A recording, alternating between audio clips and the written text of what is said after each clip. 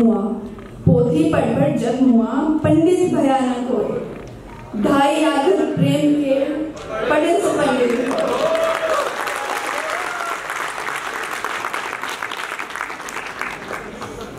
मैं प्रेम पूर्वक आमंत्रित करती हूँ।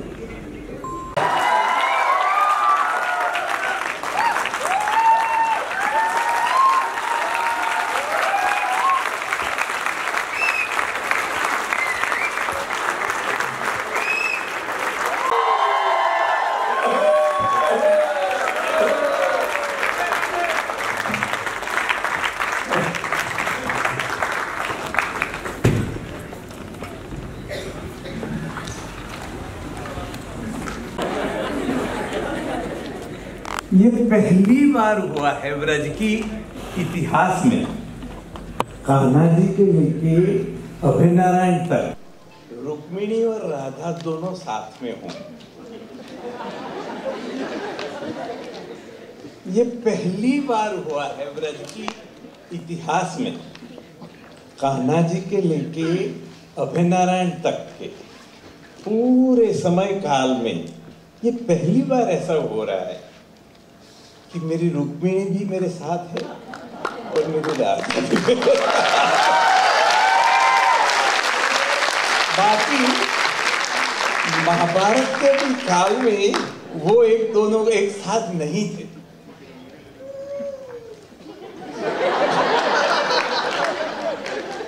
इसलिए मुझे मर्यादा पुरुषोत्तम भी रहना है और कृष्ण कन्हैया भी होना बड़ी मुश्किल वाली बात है, लेकिन ओहो हो। लो जी। और मत वाले संहिता के आगे।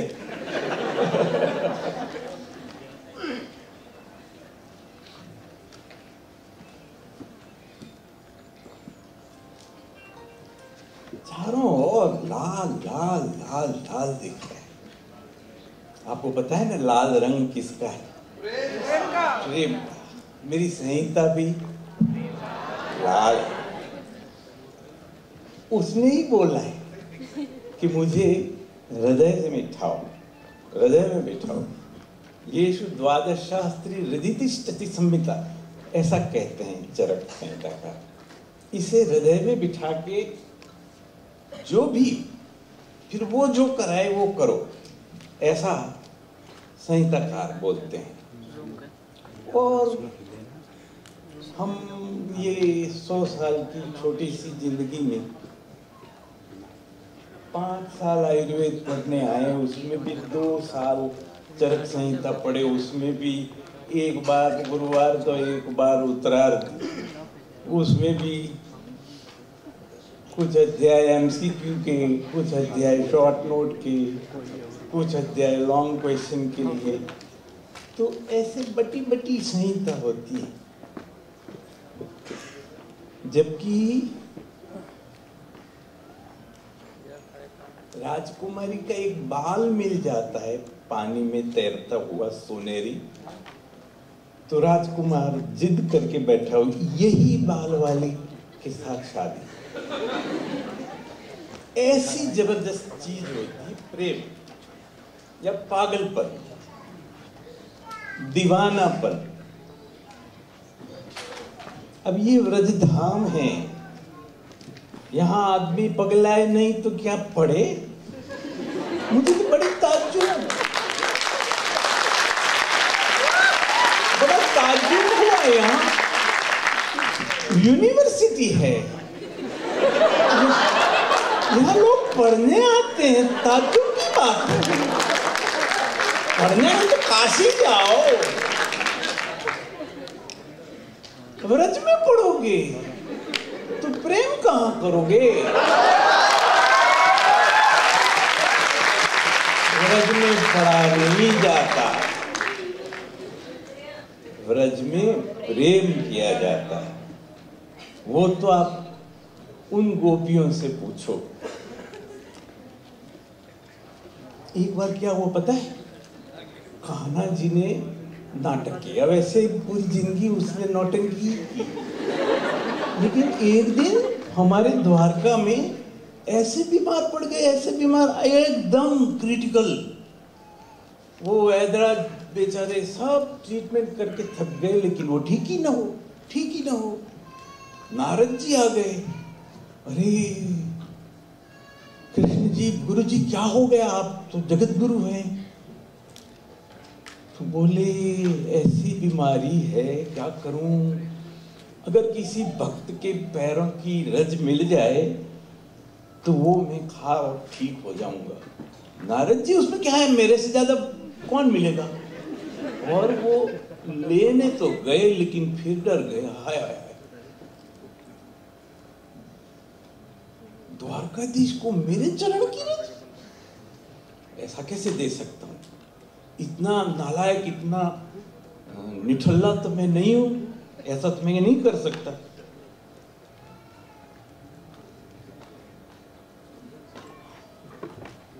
फिर उनको याद आया कि हाँ गोपियाँ हैं व्रज में। उनकी एकदम भक्त उनसे पूछ लेते हैं। लेकिन वो मना कर दी तो फिर भी टू टेक अ चांस। वो द्वारिका से इधर आए। और गोपियाँ तो बेचारी जुड़ रही थी, रो रही थी। नारद जी को देख के जय श्री कृष्ण किया और पूछा, क्यों पधारे गुरु जी वो तो महर्षि, नहीं नहीं, ब्रह्मर्षि थे बड़ी तोप तो बोले कि द्वारका देश कान्हा बीमार है और वो बोलता है कि अगर किसी भक्त की रज मिल जाए तो मैं ठीक हो जाऊँ। तो गोपी बोली, बस उतना ही। लो ना, मैं देती हूँ ना। के दे दी।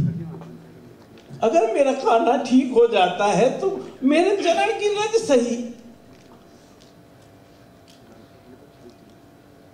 तब वो ब्रह्मर्षि पढ़े लिखे ऋषि थे, उनको तब पता चला कि व्रज की रज को ब्रह्मरज क्यों बोलते हैं। गोपियों की इतनी इतनी डेडिकेशन है कान्हा के प्रति। आओ हम सब गोपी हो जाए। और ये कान्हा के प्रति हम भी ऐसे डेडिकेट हो जाए। और डेडिकेट, डेडिकेटेड होने का रास्ता गोपी जन होने का रास्ता इधर से नहीं जाता, इधर से जाता। इसलिए व्रज में इकट्ठे होते हैं।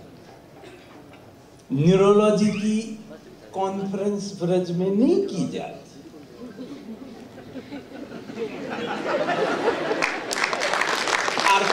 की आर्थराइटिस की कॉन्फ्रेंस व्रज में नहीं की जाती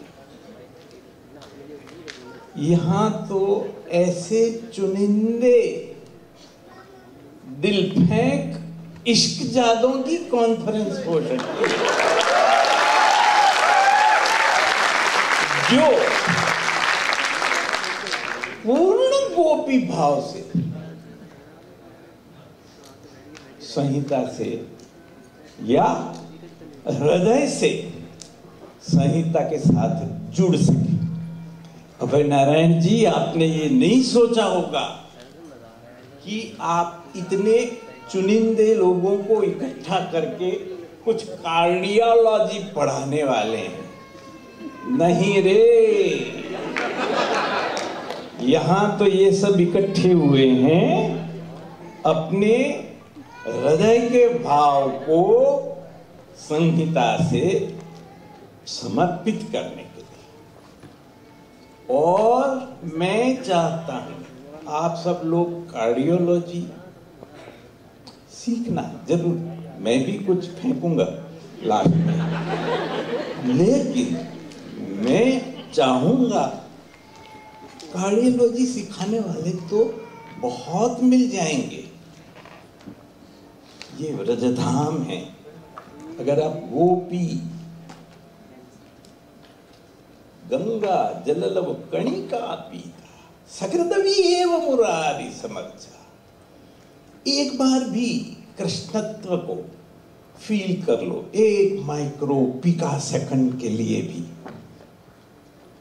तो भी बहुत है संहिता से जुड़ने के लिए। ये दो दिन ट्राई करना एकाध योग एकाध औषध याद न भी रहे तो चलेगा।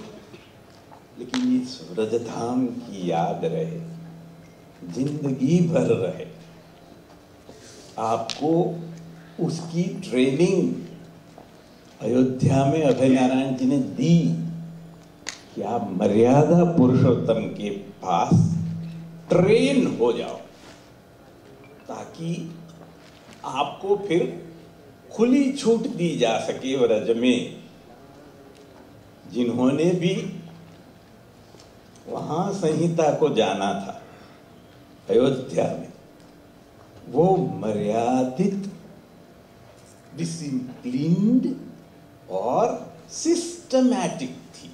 वहाँ पढ़ाई हो सकती, पढ़ सकते हैं लेकिन यहाँ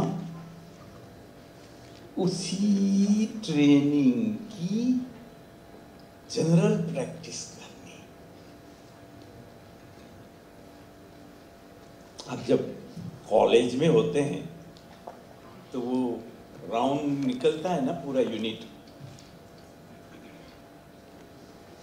जो यूँ करते हैं, और उसके हाथ में स्टेथोस्कोप थमा दिया जाता है। वो हेड ऑफ़ द यूनिट होता है। फिर जो पीछे पीछे यूँ करके चलता है, वो हाउस में नया क्रिंकुलर स्टार होता है। जो बस पन्ने ही उलटता सुलटता रहता है और सभी की गालियाँ खाता है, वो इंटर्न होता है। और वो पूरे बंच लेके पीछे पीछे घूमती है, वो नर्स होती है।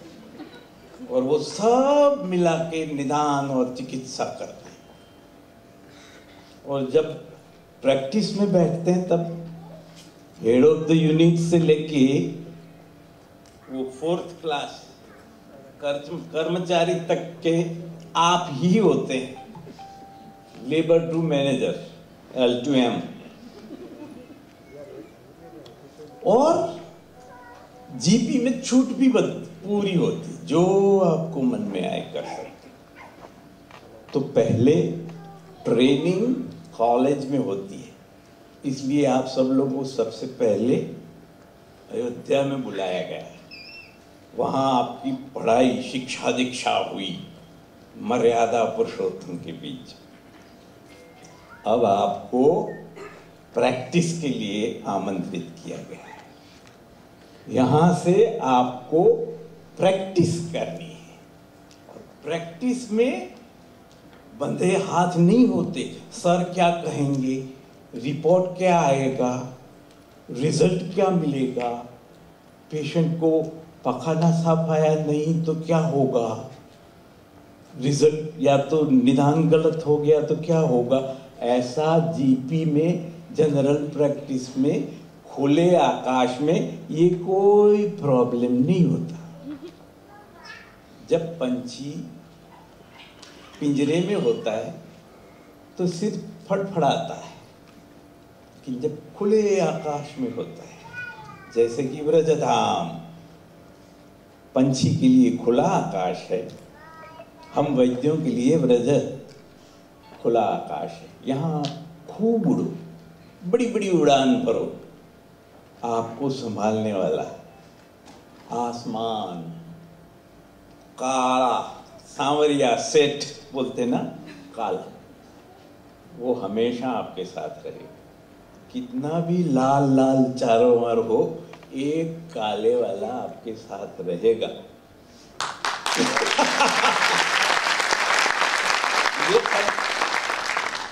हृदय से शुरू होने वाली बात। है हृदय जो संहिता का बोलते हैं। और जो नीचे की लाइन में कार्डियोलॉजी लिखा है, वो जो हृदय है वो साफ़ तौर से अलग अलग है। जो हृदय है, उसके लिए कान्हा जी कहते हैं, वो सेंट्रली सिचुएटेड होता है। हृदय अंगुष्ठ मात्र मैं कान्हा कहता है, मैं कहा रहता हूँ?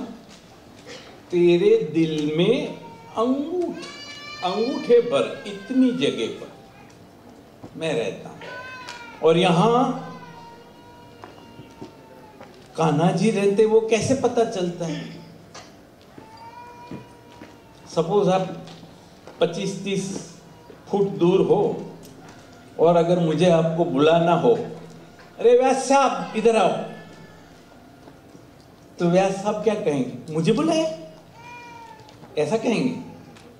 व्यास साहब, मुझे बुलाए ऐसा कहेंगे? कहाँ हाथ ले जाएँगे? मुझे बुलाए? यही कहेंगे ना। तो व्यास साहब यहाँ विराजमान है। कृष्ण यहाँ विराजमान है। अब साला वो जो अपन कार्डियोलॉजी की बात करते वो तो इधर है। लेफ़्ट लैटरल है।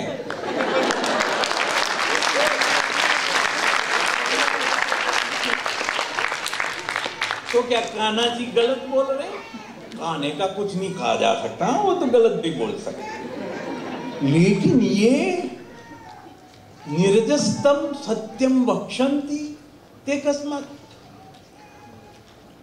आपदा शिष्टा विबुदा वो तो झूठ नहीं बोलते। उन्होंने बताया हृदय के लिए। षडंगम अंग विज्ञानम इंद्रियाणी, अर्थपंचकम, आत्मा, सगुणश्चेति चिंतम च हृदय संस्थितम। इतनी सारी चीज़ें हृदय में होती हैं। षडंग। षडंग का मतलब? हाथ, पैर और बीच वाला। आपने डिसेक्शन किया था हार्ट का, उसमें टांगे निकली थी। चरक तो कहता है, षडंगम अंग विज्ञान लीवर वीवर देखा था हार्ट में?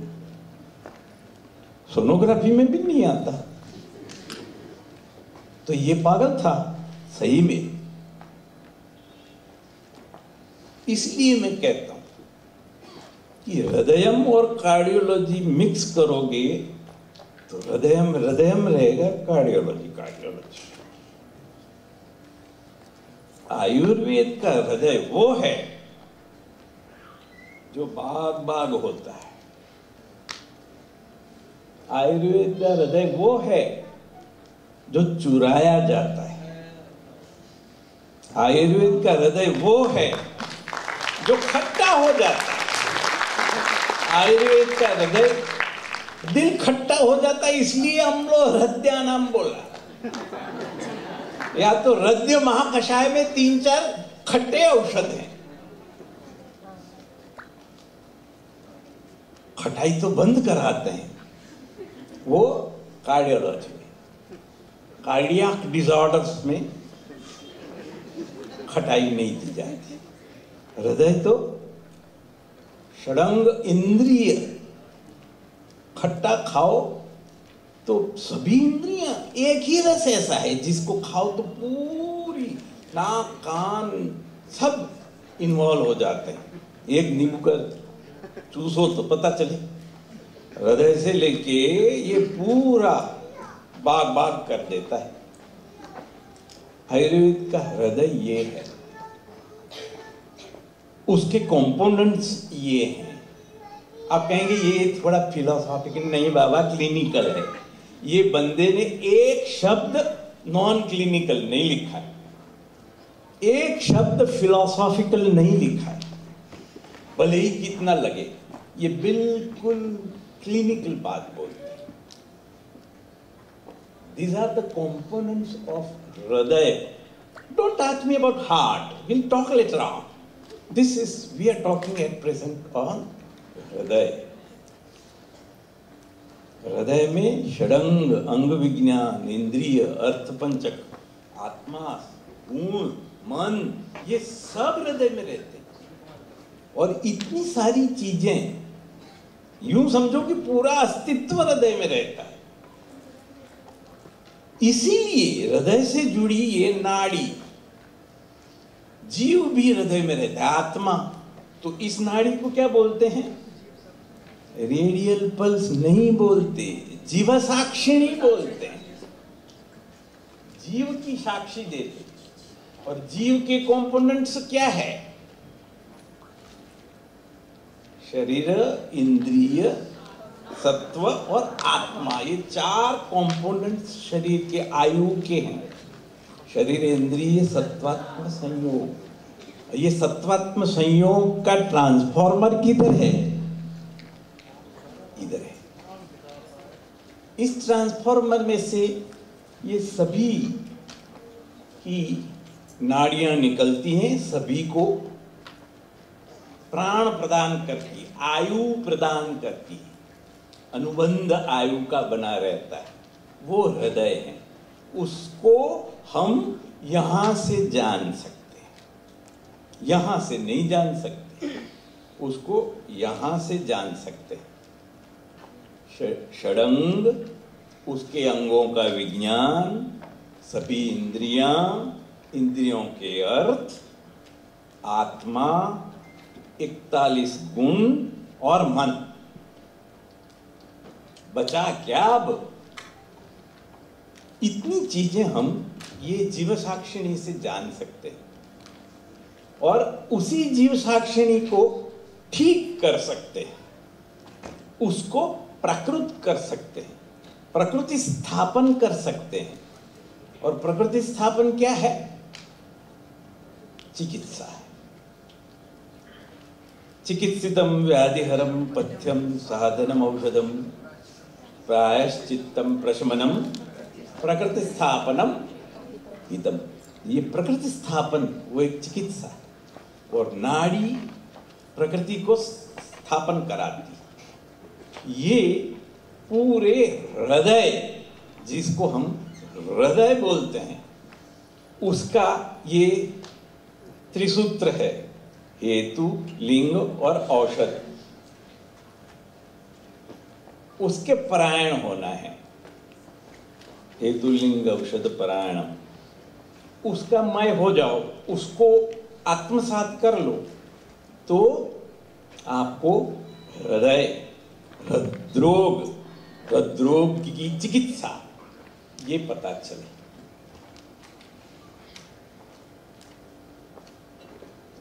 ये हृदय के बारे में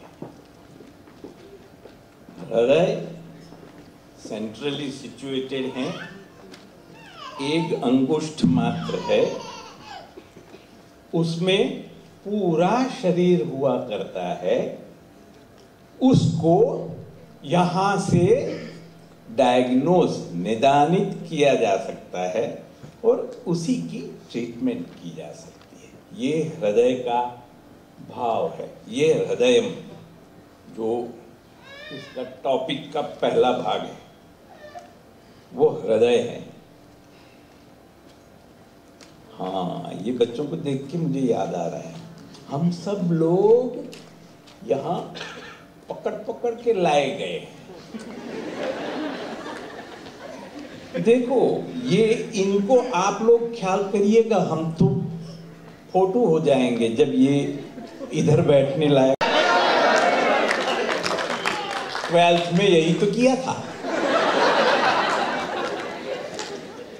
आने के बाद भी यही तो कर रहे हैं।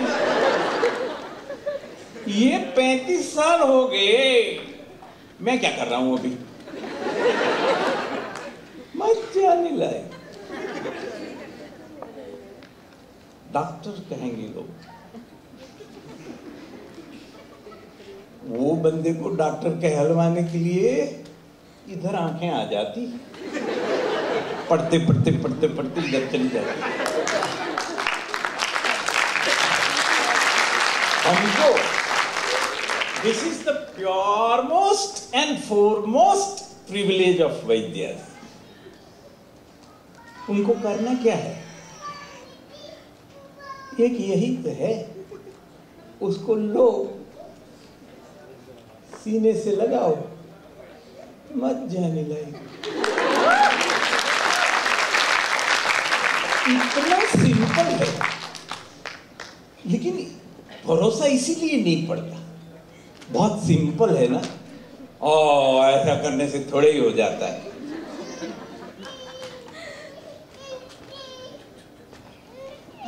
देखो, काश्यप ने बाल रोग पर लिखा है।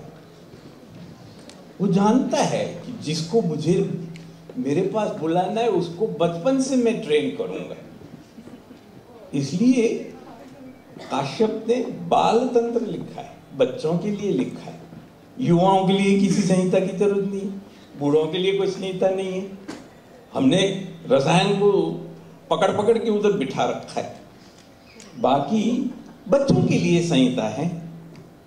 बाकी सबके लिए संहिता है। बच्चों के लिए क्यों संहिता है? क्योंकि वो जन्म से उसको पकड़ता है तू और कहीं नहीं जाएगा। स्वर्ण प्राशन चाट तुमको आयुर्वेद में आना है। वो पूरा ख्याल रखता है। बचपन क्या वो तो? ष्ठे बुद्धि सप्तमे मन इंट्रायूटराइन लाइफ से आयुर्वेद पीछे पड़ जाता है। आपको अगर वैद्य होना है तो वो ट्वेल्थ में नहीं होते, वो दैट इज़ द लास्ट ऊँट की पीठ पे अंतिम दिन का होता है। बाकी हम सब लोग जिनेटिकली वैद्य हैं। तभी यहाँ आ पाए। क्या बुलवाता है ये काना मुझे भी समझ में नहीं। पहली बार सुन रहा हूँ मैं भी।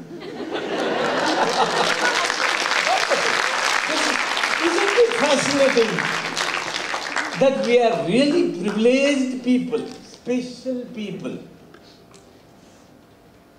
और आजकल तो अपना जमाना आने वाला है। क्या? अपना टाइम आने वाला है।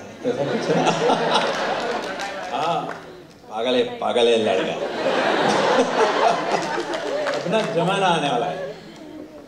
हम तो शायद फ़ोटो हो गए होंगे आप लोगों के लिए। बड़ी सुनहरी सुबह इंतज़ार कर रही है। इसलिए आप सब लोग अभी से पागल हो जाओ, संहिता के चहीते हो जाओ। संहिता के गर्लफ्रेंड या बॉयफ्रेंड हो जाओ। बाकी वो रट्टा वट्टा मारना है उधर जाके उल्टी कराना है, परीक्षा में एनसीआई खुश कर देना वो सब ठीक है, करते रहो। उसने ये मौका दिया कॉलेज बना के दिया प्रिंसिपल बना के दिया स्टाफ बना के दिया, वो सब सब्जेक्ट बना के दिया। तो अपना भी फ़र्ज़ बनता है दो चार परीक्षा दे दें। चल ले, पकड़ ये चौदह क्वेश्चन पेपर के आंसर जान छोड़ यार बस इतना ही है। जय जय राधे। बस राधे हो जाए। ये सब बातें हृदय की है। फिर दूसरा लिखता है, कार्डियोलॉजी, इन आयुर्वेदा यहीं से खीर टेढ़ी हो जाती लेकिन करें क्या अभय जी? दुनिया ये भी मांगती है।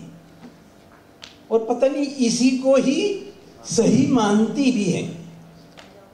आप जितने भी सफ़ेद कोट वाले हैं, सब वही वही कार्डियोलॉजी कार्डियाक डिसऑर्डर क्या करना है? हार्ट से हमें क्या लेना है? आई एस रेफरेंस हाँ। हाँ हाँ मुझे उल्लू मत बनाओ, ताली बजाते हो, लेकिन अंदर अंदर वही है। I S D M I W W बस P Q R S T यही सब चाहिए सबको। तो वो दूसरा काउंटर पार्ट है कार्डियोलॉजी तो कार्डियोलॉजी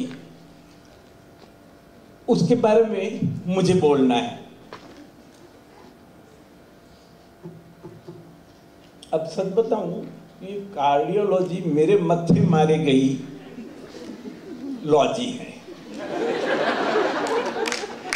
मेरे को सर, सच में एट्टी सिक्स में सेकंड एमडी में जब टॉपिक के लिए गुरदीप सिंह साहब ने बोला कि आप बताओ कौन से टॉपिक पर काम करना तो मैं तो विचर्चिका प्रतिशय और जलव का उच्चारण ये तीन लेके गया था। और डांट पड़ गई। हम्म, हम्म, इतने सारे मार्क्स आए। क्या प्रतिशय के लिए लिए नहीं नहीं नहीं नहीं कैंसर पर काम कर। बोला अरे बाप रे ये कहाँ क्या खाते हो? आप कैंसर में रिज़ल्ट विजल्ट तो होता नहीं। जब एमडी करने जाते तो हमको ये होता है ना, हमको कहाँ पता होता है कि किसी से किसी में रिज़ल्ट नहीं होता? लेकिन वो उस जमाने में सेकंड एमडी में यही होता है कि बस, अब तो नेक्स्ट नोबेल मेरा ही है। अब ये कैंसर पकड़वा दिया मैंने, बोला, ए, इसमें तो काम नहीं कर सकते, उसमें तो मेरे पापा को भी मैंने देखा था। कोई रिज़ल्ट विजल्ट नहीं हुआ था मर ही जाते थे पेशेंट वो तो आज भी। तो फिर हम्म, तो फिर तो तो, तो फिर कार्डियोलॉजी में करो बोला यार ये आसमान से टपके तो कभी नहीं पड़ता गुजराती कहते उल्मत जुल्म पड़े। ने बोला नहीं करना मेरे को कार्डियोलॉजी में भी काम। सही में तय करके निकला था कि अब जाएँगे एमडी नहीं करना है जामनगर को। बाय बाय टाटा फिर वो सीनियर आए और समझाए, पटाए और फिर कार्डियोलॉजी का टॉपिक दिया पेन डोमिनेटिंग हार्ट और वो भी pen dominating heart disease Ayurveda का नामो निशान नहीं। मैंने जब 87 में प्रैक्टिस शुरू की कार्डियोलॉजी की तो पूरे गुजरात में कोई आयुर्वेद का कार्डियोलॉजी में काम करने वाला था ही नहीं। कोई छाती में दर्द लेके रिक्शा में बैठे तो वो भी सीधा अंग्रेज़ी डॉक्टर के पास ही जाता था। वीएस में ले जाए सबको, कोई वैद्य के पास आता नहीं। ऐसे कंडीशन में, और हाँ सेकंड में तो शादी भी हो गई थी। क्लिनिक खोला तब तीन साल की बच्ची थी, और तीन महीने की। ऐसे में हार्ट डिज़ीज़ पर काम करना शुरू किया मैंने। सोचो कैसी हालत हुई होगी। लेकिन मर मरा के गुजराती में कहते ना, अथड़ई कुटई ने बड़ी मुश्किल से कार्डियोलॉजी की सो कॉल्ड प्रैक्टिस की। इसलिए मैं कोई रिकॉर्ड वैकॉर्ड बना नहीं सका आपको हो कि how many patients you have treated of ISD और एमआई और फलान का। अरे भाई, पहला तो आईएसडी का पेशेंट आ जाए, उसको मैं आईएसडी मान सकूँ समझ सकूँ और ट्रीट करूँ। वही बहुत था। कहाँ रिकॉर्डिंग करने या डॉक्यूमेंटेशन करूँ मैं। ऐसा काम अनडॉक्यूमेंटेड किया। आज तक किया। इसलिए आदत डॉक्यूमेंटेशन की नहीं है। लेकिन फिर भी जो मेरे पास हार्ट की फ़ाइल लेके आने वाले पेशेंट्स होते हैं, कितनी बड़ी बड़ी फ़ाइल सीधे तो कहाँ कोई आता है?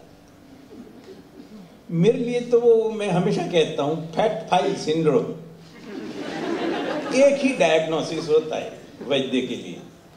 अगर डायग्नोसिस है तो fat file syndrome F F S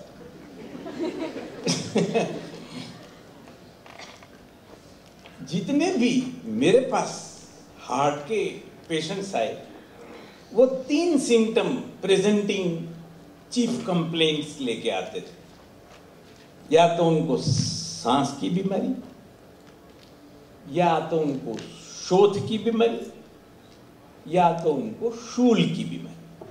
ये तीन सिम्टम्स लेके मेरे पास सभी पेशेंट्स आते अब उसमें उनको आईएचडी था एथरोस्क्लेरोसिस था एथेरोमा था कोरोनरी थ्रोम्बोसिस था इंटरमीडिएरी सिंड्रोम था वुल्फ एंड वुल्फ सिंड्रोम था वाइट एंड वाइट सिंड्रोम कितने सारे हैं?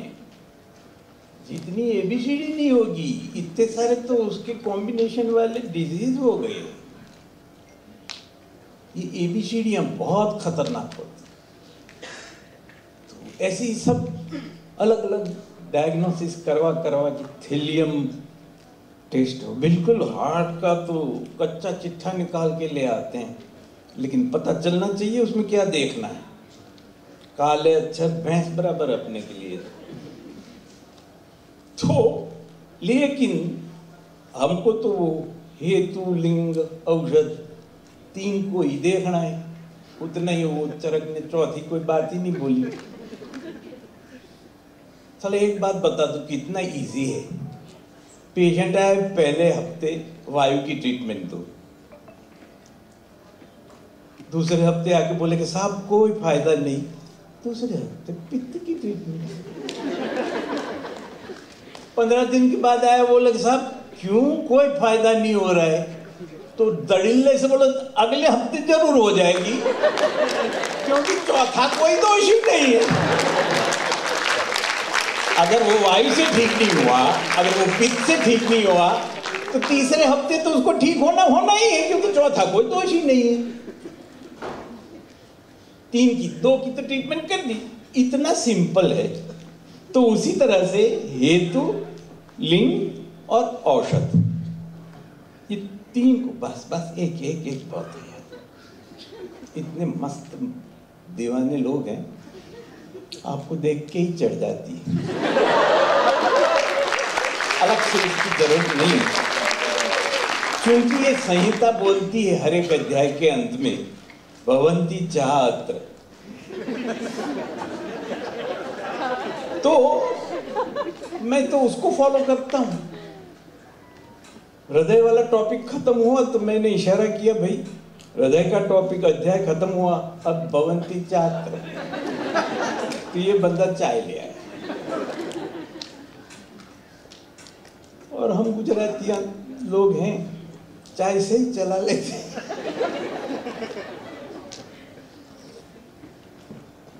एक बात है, ये अंदर जाती है ना फिर रंग दिलाती है।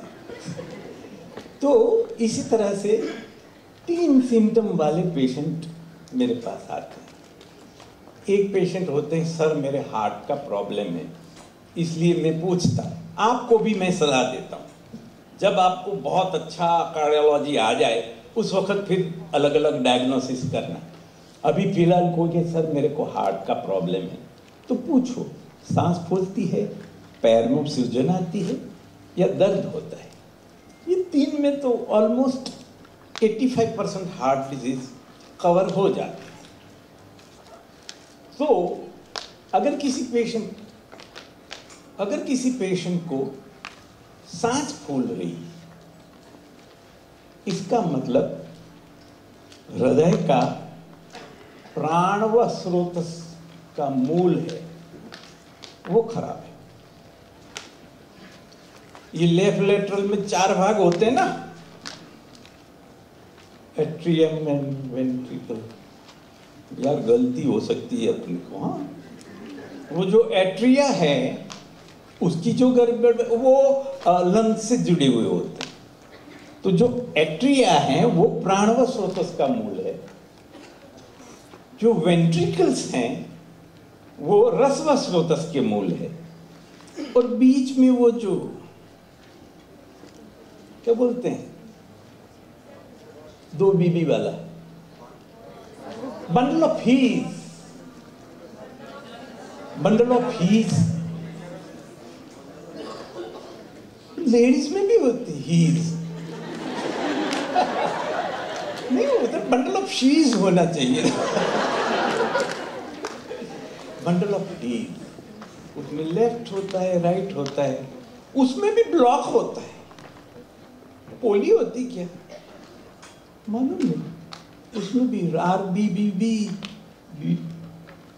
L B B B और दोनों में हो तो दो B B B B B B अरे भाई। इसलिए ये जो एट्रिया है वो प्राणव स्रोतस का मूल है। उसमें कोई गड़बड़ होती है तो उसमें लंग कल्प्रिट होता है। और लंग और हार्ट दोनों मिलके एक गड़बड़ पैदा करते हैं, कोर पल्मोनल जैसा हालत होता है। श्रोता दुष्ट दूषहितारो भवती। एक स्रोतस दुष्ट होता है तो उसके नज़दीक के स्रोतस को दुष्ट करता है। तो ये तो बगल का स्रोतस नहीं, मूल ही है। तो प्राण की दृष्टि से हृदय की दृष्टि होती है। ऐसी स्थिति में प्राण व स्रोतो दृष्टि के लक्षण हृदय के साथ जुड़ते हैं। कितने भी हृदय के रोग हो, उसमें थोड़ा बहुत शूल तो रहता ही है। वो छाती में भार भार से लेके जान निकल जाए तक का। इम्पेंटिंग फियर ऑफ़ डेथ यहाँ तक की वो रेंज रहती है। कुछ को तो शेव करते वक्त दर्द होता है। फिर अनूप जैन साहब चेक करके बोलते तेरे को तो एंटीरियर एम आई है। इतने सिंपल होते लेकिन यही, यहाँ इतने एरिया के सब सिम्टम वहाँ होते हैं। ये प्राण व स्रोतस के हृदय के उसके मूल भी खराब हो जाए तो श्वास प्रधान हृदरोग होके आता है। ये श्वास है प्राणव स्रोतो दृष्टि है, या प्राणव स्रोतस के मूल की दुष्टि है? या दोनों की दृष्टि है, उसके लिए प्राणव स्रोतो दृष्टि के लक्षण सिर्फ़ उतना ही हो तो फिर वो श्वास है। लेकिन श्वास के साथ हृदय बाधा, हृदय में बाधा उत्पन्न हुई हो, सांस को तो हर आदमी सह लेता है। हाँ। यह तो होता रहता है। श्रोणितम अनुवर्तते। प्राण श्रोणित के पीछे पीछे चलते अब ब्लॉक हो गया, वायु बढ़ गया, फिर संकोच किया तो फिर वायु बढ़ गया, फिर यहाँ प्राण का क्षय हो गया तो तीसरी बार वायु बढ़ गया। ट्रिपल फोल्ड वात प्रकोप हो जाता है। और वो भी एक ही जगह पर। और वो फिर हृदय चीखता है। टीस बोलते हैं ना, दिल में टीस होती है। फिर वो चिल्लाता है। अगर वो संकोच होके फिर खुल गया तो तो कोई हर्ज नहीं। और अक्सर खुल जाता है। हाँ हृदय की वो मर्म है ना, मर्म में प्राण खास रहते हैं। प्राणा विशेषण मर्मेशु स्थित। तो प्राण होते हैं मर्म में तो वो सब काम निपटा लेते हैं। और चेतना भी तो होती है। हृदय चेतना स्थानम मुक्तम सुश्रुतम देहिनाम। काशीराज का बताया है वो है। चेतना भी मैनेज कर लेती है, प्राण भी मैनेज कर लेता है, कुछ हद तक वायु भी मैनेज कर लेता है। लेकिन कभी कभी हम इतने हरामीपन पर उतर आते हैं कि ये तीनों सेट करने वाले हो तो भी तिल क्षीर गुड़ादीनी भक्षती। ये तीन संभल ले, अगर एक हो तो वो वातिक हो जाता है। वायु और रक्त दोनों हो तो पैतिक हो जाता है। वायु, रक्त और प्राण तीनों हो तो त्रिदोष हो जाता है। और ऐसे तीनों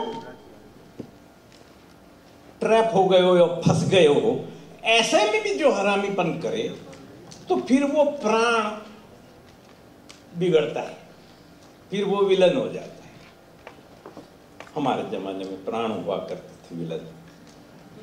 आजकल सिर्फ़ हृदय में प्राण विलन होते हैं। फिर वो बोलता है, अब मैं जाऊँगा इधर से। इधर से ही निकलूँगा। क्या कर लेगा?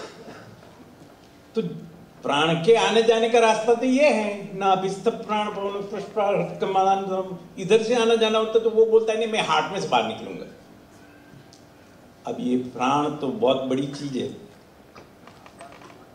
प्राण क्या चीज़ होती है, अग्रवाल जी? जो कभी शरीर में रहना नहीं चाहता, मिनट में चौदह बार शरीर के बाहर जाता है, ये गया, फिर वापस आया, ये गया, फिर वापस आया, ये गया, फिर वापस आया, ये गया, वापस नहीं आया। वो प्राण इधर खड़ा हुआ आदमी तपन क्यों है? क्योंकि उसके गए हुए प्राण वापस आए। अगर ना आए तो बॉडी हो जाता हूँ मैं। बॉडी को ले गए? बॉडी को निकाल गए? कोई तपन नहीं बोलेगा। वो प्राण है। और फिर वो हृदय में से निकलने की चेष्टा करता है। वो तो क्लोज सर्किट है। ओपन सर्किट से निकलता है, यहाँ से जाता है तो हम सबको कोई प्रॉब्लम नहीं। लेकिन क्लोज सर्किट, तीन बहुत बड़ी बड़ी क्लोज सर्किट हैं बॉडी में। एक हृदय वाली है, एक शंख वाली है और एक बस्ती वाली है। ये तीन में से जब वो निकलने की कोशिश करता है, वो फिर उस मर्म का प्राण संकट पैदा हो जाता है। ये शूल प्रधान की बातें हो रही हैं हाँ? समझ लीजिए। तो ये प्राण संकट पैदा कर देते और प्राण संकट बहुत ग्रेव कंडीशन होती है। डायर इमरजेंसी बोलते हैं जिसको। घर बैठे ट्रीटमेंट नहीं की जा सकती। उसको कुटी प्रावेशिक करना। कुटी प्रावेशिक को अंग्रेज़ी में क्या बोलते हैं? हॉस्पिटलाइजेशन और intensive cardiac care unit ICU उसमें ला दिया जाता है। और रसम रसेना, लोहितम लोहितेन, मांसम मांसेन, उसी तरह से प्राण प्राणे।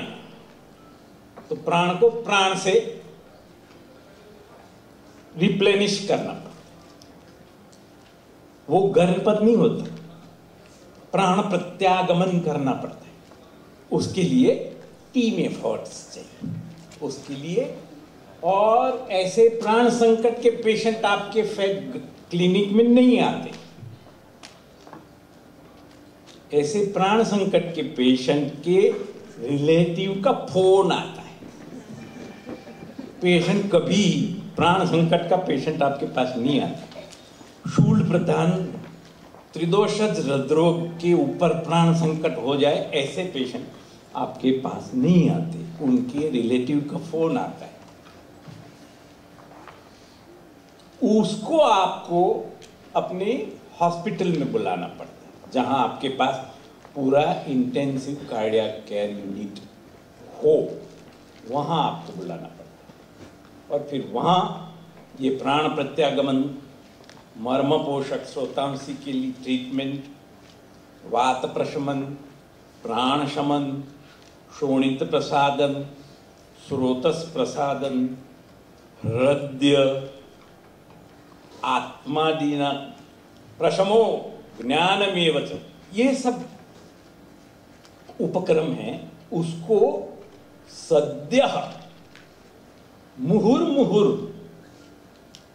और तन्मना अप्लाई करना पड़ता है। जी तोड़ मेहनत करनी पड़ती है। ये